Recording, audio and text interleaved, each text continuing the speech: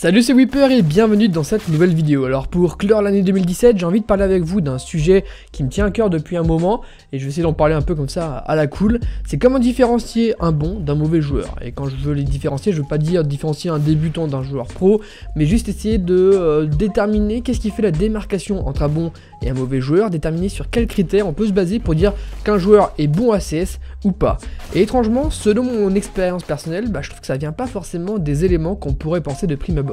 Quand vous demandez à peu près n'importe qui, qu'est-ce qui fait qu'on a un bon joueur ou pas, on va parler de visée, d'aim, on va parler de cas des ratios, de statistiques, il y a même des malades qui pensent qu'un skin permet de dire qu'un joueur est bon ou pas.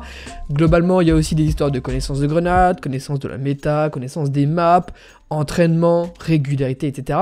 Alors oui, il y a un peu de tout ça, mais à mes yeux, il y a un truc qui est vraiment tout simple et qui permet de se faire une idée générale en un clin d'œil sur un joueur, ce sont ses déplacements. Alors pour illustrer cette vidéo, je vous mets des passages de gameplay un peu divers et variés, du matchmaking en Nova, du matchmaking en global, euh, un passage de match pro, etc.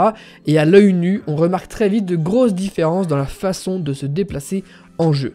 Donc bon, les mouvements, etc., c'est quelque chose que j'ai déjà abordé dans ma vidéo sur le strafing, qui est sortie il y a quelques temps maintenant, mais c'était vraiment les déplacements uniquement lors des duels, le fait de se déplacer latéralement, etc.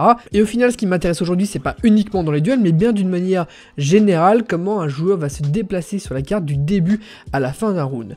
Et d'ailleurs, c'est assez étonnant, mais dans mes observations de joueurs assez bas niveau, ou moyens, notamment dans mes années de viewers, une des remarques qui revient souvent en commentaire, c'est que le joueur a l'air perdu. Mais concrètement, qu'est-ce qui fait qu'un joueur a l'air perdu sur Counter-Strike? Pour moi, ça revient à deux choses. La première, ce sont les déplacements, comme je le disais un peu plus tôt, le fait de se cogner dans les murs, de se tromper de chemin, de rater ses sauts, de marcher au mauvais moment, de s'accroupir au mauvais moment, avoir des strafs vraiment pas précis du tout, etc.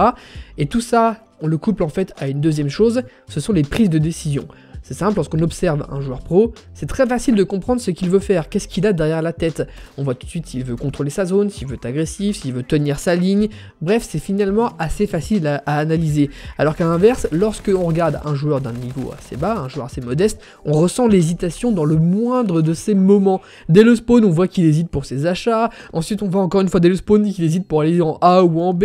Il hésite à être agressif ou être passif. Il hésite à prendre une grenade ou pas. On sent l'hésitation dans le moindre de ses mouvements. Alors bon, voilà à peu près mon point de vue. Est-ce qu'il est bon ou pas J'en ai aucune idée, mais je suis persuadé que les mouvements ont ont vraiment un gros impact sur le niveau individuel d'un joueur et sur sa capacité en fait à, bien jouer à CS ou pas. Mais je pense qu'avant de se mettre à, essayer de, développer sa capacité à viser avec précision, ses réflexes ou même ses connaissances des cartes avec les grenades, etc. Je pense vraiment que la priorité absolue pour un joueur qui débute ou même pour un joueur qui est stuck dans les bas niveaux depuis longtemps, c'est simplement de faire attention à ça, à ses mouvements, à essayer d'être le plus fluide possible, à réussir ses sauts, réussir ses strafes et ne pas avoir cette air perdu, on va dire, lors des déplacements sur la carte. Je pense que c'est vraiment la priorité absolue pour n'importe quel joueur, avant ensuite de développer peut-être un peu les autres choses, euh, la visée, etc. C'est vrai qu'au final, même si vous avez des très très bons déplacements, si vous cliquez à côté des adversaires, bien entendu, ça va fait de vous un joueur plutôt moyen.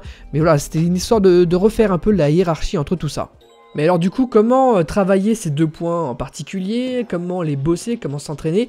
C'est vrai qu'au final, pour ce qui est des prises de décision, il n'y a pas grand chose à faire, mis à part prendre de l'expérience, continuer à jouer encore et encore, revivre les mêmes situations en jeu, pour petit à petit faire le tri entre ce qui est bien à faire, ce qui est moins bien, et euh, essayer au fur et à mesure d'essayer de, prendre des bonnes décisions. Alors voilà, en dehors de cette expérience-là directement en jeu, et aussi du fait de regarder peut-être des meilleurs joueurs euh, dans les matchs pro ou dans ce que vous voulez, et ensuite vous en inspirer vous-même, je pense pas qu'il y ait grand chose de plus à faire au niveau prise de décision. Par contre, au niveau des mouvements, il existe tout un tas de modes et de maps spécifiques qui peuvent permettre de vous entraîner. Forcément, on pense par exemple aux maps surf et bop, qui sont à mon avis peut-être un peu trop spécifiques, c'est-à-dire dans le cas du surf, oui, ça va être pas mal pour prendre en main un peu les déplacements de votre personnage, les sauts, la vitesse, etc. Et même votre souris, votre sensibilité d'une manière générale. Par contre, c'est vrai que c'est très spécifique et c'est des situations que vous retrouvez que très rarement sur les maps officielles, le fait de pouvoir glisser sur une paroi. Mais je pense que c'est quand même bon, bon prendre. Et dans le cas du BOP, bah, c'est spécifique au bunny hop. Et comme on le sait, sur la majorité des serveurs officiels, c'est pas très évident, on va dire, de faire un bunny hop ultra efficace. Ça peut servir dans certaines situations, mais c'est pas non plus indispensable. Et c'est pour ça que moi, je vous recommande surtout au final les maps KZ. Alors c'est très simple, vous allez dans euh, trouver une partie, parcourir les serveurs, euh, vous allez ensuite taper dans les filtres KZ-du bas, et ça va vous proposer une liste de serveurs proposant ces maps et ce mode. Le KZ, c'est quoi? C'est bien sûr ces grandes maps avec plein de petites plateformes, et il va falloir essayer de monter petit à petit, d'avancer dans le niveau jusqu'à atteindre la fin. Je pense que c'est vraiment parfait pour voilà, euh, maîtriser de plus en plus les sauts de son personnage, la précision de son personnage, ça va vraiment s'arrêter sur le pixel bien précis à cet endroit, sauter le plus tard possible de la toute petite plateforme, etc. Je pense qu'au niveau mécanique pur et dur, c'est très intéressant, et je suis assez curieux de voir si ça peut permettre de faire progresser certains d'entre vous. La dernière chose que je veux ajouter dans cette vidéo, c'est en fait un, feeling un peu personnel qui m'a plus ou moins poussé à faire cette vidéo, c'est qu'on le sait très bien qu'au niveau de la visée, de la précision, il y a une histoire d'échauffement. Avant de lancer une partie, si vous y allez euh, tout droit comme ça, sans vous échauffer au préalable, on sait que c'est un peu bizarre, on se sent pas tout à fait à l'aise, on met un certain temps avant de, maîtriser sa souris, sa précision du pointeur, euh, la précision des rafales et compagnie.